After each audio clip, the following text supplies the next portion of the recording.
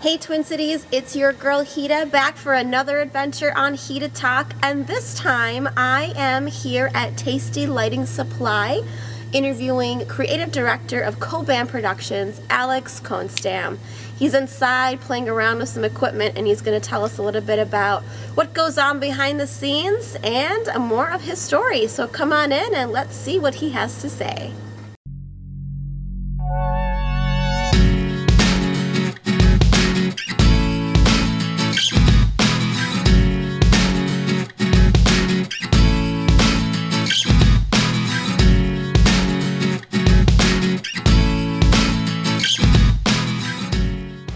So I thought it would be fun since we're here at the awesome warehouse of Tasty Lighting Supply. Yep.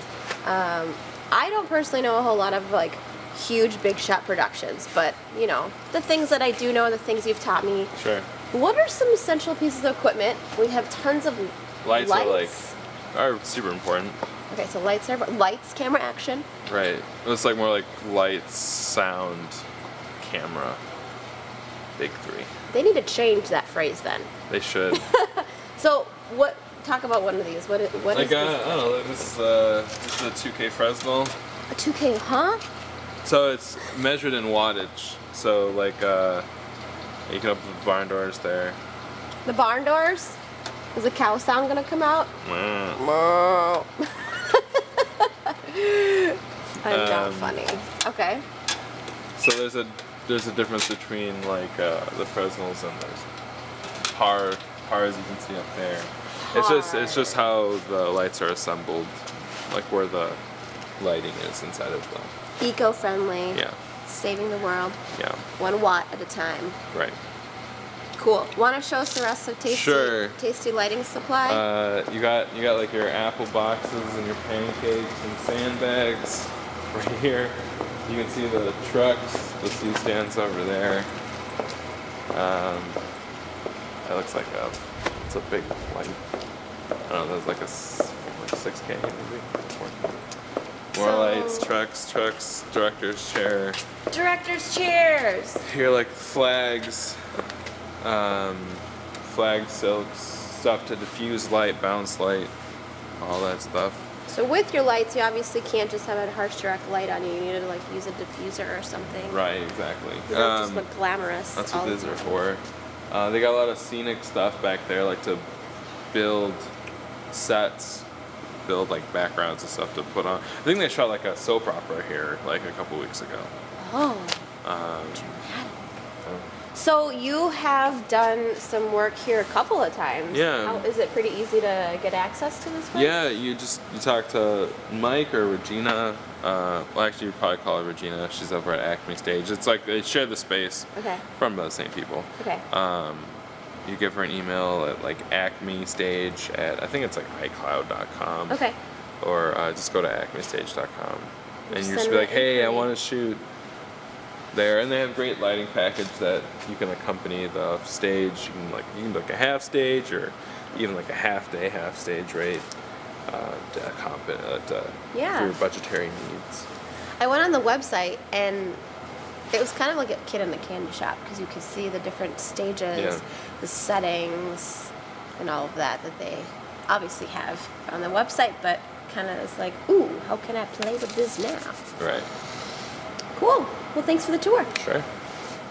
All right. Well, welcome back for episode six of Hita Talk. It is your girl Hita, and with me today is the fabulous, very creative, creative director of Kobamm Productions, Alex Kohnstamm. Hello. Hello.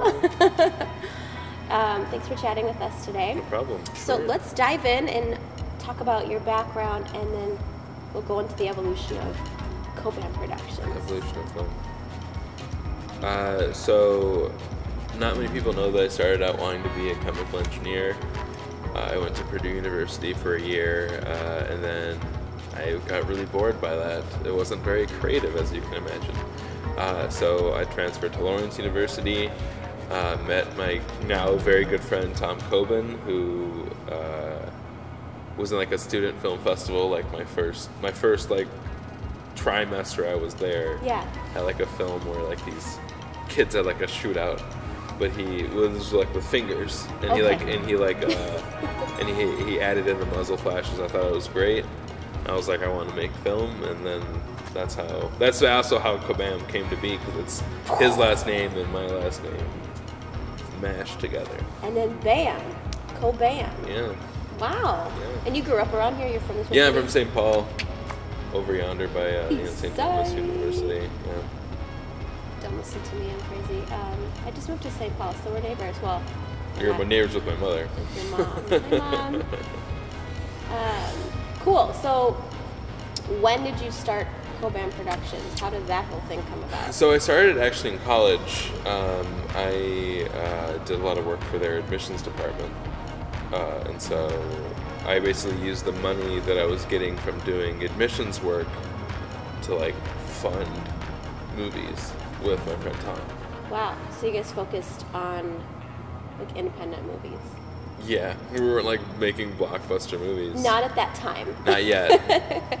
Uh, but just you guys had an idea and you went with it, and then you started out in, in the film. And Yes. Then, since then, um, I guess we can kind of go into what does Kobamm offer, what services, what kind of clients, projects have you had before? Sure. Uh, I mean, we we do everything from music videos to commercials to narrative filmmaking, features, shorts. Um, uh, you know, we just like uh, actually in here like last weekend we shot some great industrial videos for a nuclear engineering company. Oh wow! Um, So like promotional material yeah, um, yeah, yeah. Promotional materials, um, events, fashion.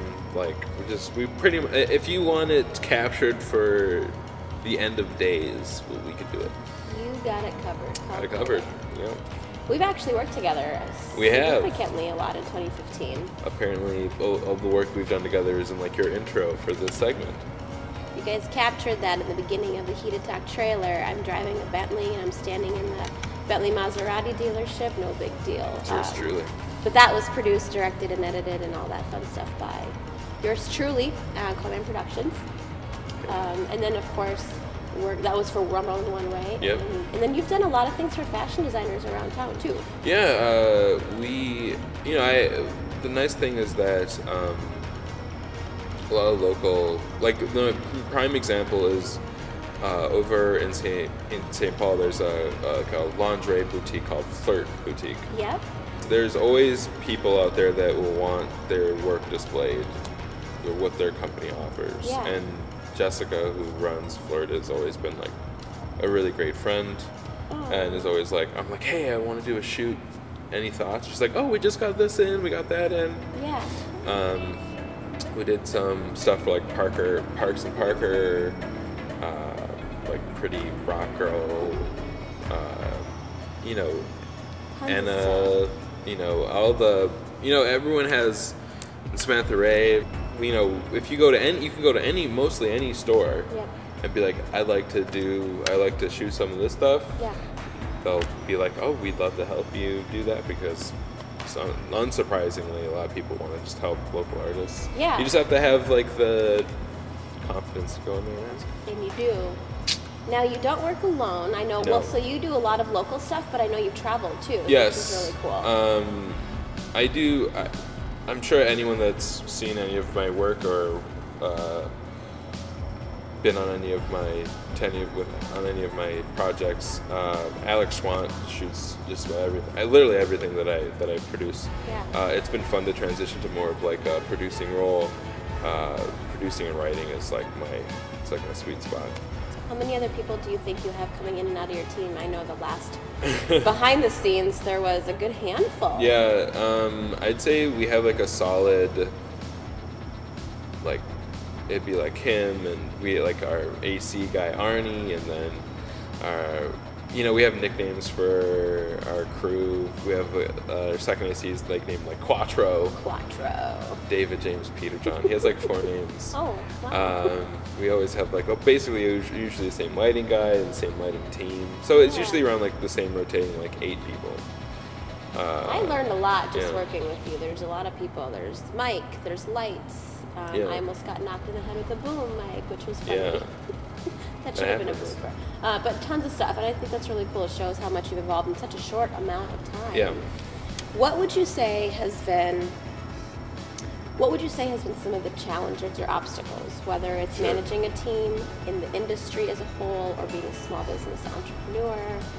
Sure. I think the hardest thing to get down when you're starting uh, business is really communication. I think you have all the ideas in your head, uh, but being able to convey them to your team can be hard sometimes. I think uh, a challenge that can present itself is really um, everyone being on the same page. Yeah, I think But in, in terms of um, in terms of like finding work, uh, starting out can be tricky. Um, but I think um, you know making good partnerships with people, networking, meeting people. Like the first thing I did when I graduated, uh, my dad was like, "You have to go to the Twin Cities Film Festival." You've you emailed Jaden, or you've you've interviewed Jaden. Yeah. Um, fantastic place to meet like-minded film people. Sure. That's how I met. A lo- I got a lot of work that year, both on and behind the scenes. Um, because of because of just going to network. exactly. It's a huge outlet. I mean, I. I collaborate a lot with the Film Fest. Obviously, I work with them, but um, just other festivals too, and, and networking opportunities for people like you and Yeah. actors and behind the scenes crew to do immaculate work. Cool. So that Yeah. was successful. Yeah. What's like one or two pieces of advice that you have for for aspiring filmmakers or entrepreneurs or anybody really Sure. in the film and entertainment industry? Um, I would say um, putting, like I said before, I think really putting yourself out there is nine times out of ten is like the most super most important thing. Confidence in in your abilities and that you always have room to be better. Yep. Very important realization to have. Um, in terms of like starting out Yeah. and um, even even if you've done it for when you're working in any field, specifically film, I think knowing that you still always have room to grow, Yeah. that um, it's like it's very important to like. It, I I I'm, I find myself very lucky because I I've worked with the same crew for like three years. Like since I started, I've had like the same crew. And we all love each other, and we, and like the o, the OGs of my crew have like a, uh, we call ourselves like the clutch. It's I like a secret. It's like it's like a, it's like a secret. It's like a secret organization within my my company. Don't give the secret. Don't tell out. anybody. It's a secret. um, but it's it's important to uh, find people that you love to work with that are good at what they do Yeah. and that you can trust. I think putting yourself out there is such an easier phrase to say than to do. Um, even us extroverts sometimes get shy. I mean, I'll go to an event by myself, but sometimes I don't want to, or sometimes I don't know where to start. It's almost too overwhelming. And sometimes I'll have the you know big boost of confidence, and then people that kind of keep quiet and kind of do things a little Yeah. bit more behind the scenes might struggle with that. So if networking physically is a little bit intimidating or daunting, do you have any other insight, maybe through Yeah. online outlets? Sure, I think, um, and this is a good example too. I um, when we first met David, who's who kind of has been like our, he will start out basically as like our camera trainee. Okay. He did like a feature with Alec, uh, but he went on he went on Facebook and he found the, there are like various there, there are various like uh, forums and stuff. Uh, you could like list them below. I don't know. Tons, Just like you know, like TC Cinematic and Minnesota Film Production, TV production, Sure. all that stuff. And he like made a post that was like, "Hey, I need an internship to graduate. Uh, anybody have any tips or leads?" Uh, and like, there was one guy that was like, "That's not how you go get opportunities." And then like, the outpouring of people that were like, "No, you're wrong. This is exactly how this is exactly how we network now." Um, use social media, talk. There exactly. There's no wrong way to. Well, there is like a, there are wrong ways, but like what technicalities. Semantics. Um, but no, there. But like going out there and messaging people, shouting at people, uh, friending people can be weird sometimes. But it's like, hey, I saw you did so and so. I'd love to help. Uh, I want, I need experience. I want to get out on those sets. Yeah. Um, like just go for it. And I think that social media has like that, like that. You don't have you have like that barrier where like you can be like on a keyboard and you can send a message to someone that's like, hey, you're really great. Let's do something together. It is. It's kind of like giving a speech. A lot of people hide behind the podium, and some people like me are like, "Give me the stage." Right. But it's it's a lot barrier. I think we met through Haley Anderson. We did. But she may have introduced us initially on Twitter, and I think that's like. That I think she tagged you and said something that you'll be there as your as the photographer. Yes. Um, but Twitter is a really great outlet. I love Instagram, and then so many things on Facebook, like you were saying. Yeah. Cool. If you could go back and do one or two things differently in your career path, Sure. what would you tell young Alex? young Alex um, to uh, invest in yourself early. Um, I like it was it was you know I was very much on the fence about uh, how much I would invest in my company. we grew up with but we grew up with Generation Xers that was like your job is to go to college and then uh, get a full time job and like save money and have kids and The traditional way. Right. And so it's weird when, um, you know, I graduated college and, like, you know, I, I taught over at IFP and I worked at TPT. At that time, I was starting to get inquiries. Um, like, hey, do you want to do, you want to, like, film this and shoot that, uh, produce this, do that? Uh, and finally, I was like, you know what, maybe I could do this. I can, I could do this by myself. Sure. So it's weird to realize, like, you know, maybe you won't be the happiest in a full time job. Maybe you'll be happiest doing your own projects. Um, and having the confidence to say, like, I will, I will put all of myself into that right away. So when you say invest in yourself, you're not necessarily saying always just on a financial standpoint. Right. It's more so the opportunities, some free work, some paid work. it's being open-minded to the opportunities that life pro- provide you and like yes that means sometimes starting out doing some spec work but sometimes like uh, that turns into like award-winning stuff Yeah. Well, we can chat for a long time, but Yes, tell us how we can find out more about you, your services, and all that jazz. sure uh, you can go to www.kobamm.com to see the website We're um, gonna put that right here. and facebook we have Yeah. you know, the page Yeah. Well, all your contact information is probably on the website. Yeah. Um, samples of your work. And Samples of my work are on there. Can get you to can hire you. can hire my services my team's services Maybe a little joint venture. Yeah, you're like we offer services with PR, so Yeah. um, I think I, know a um, I know a good girl. I know I know a pretty small girl. um, Okay. yeah, Cool. that's how you get in touch with me if you want something done right. Do it right. Do it the Kobamm way. Well, thank you for chatting with us on Hita Talk today. Um, but we're not done. It's time for Hita Talk trivia. I'm going to ask you a couple of questions because you're a pro in this industry. Sure, And you can totally fake it. I can totally take it. Some of them are going to be easy, some of them are, I kind of want to stump you. I know you're It's genius. probably much easier than you think it is. You went to Purdue. You tried to do the engineering thing. tried to do the you loved it, thing. but you know, I'm gonna try to stump you. Um, It's gonna not take that much. so we're gonna we're gonna ask you some questions, and then some fill in the blanks. Alex, yeah, what does SAG in SAG stand for? Screen Actors Guild. Whoop, whoop. That is correct. okay.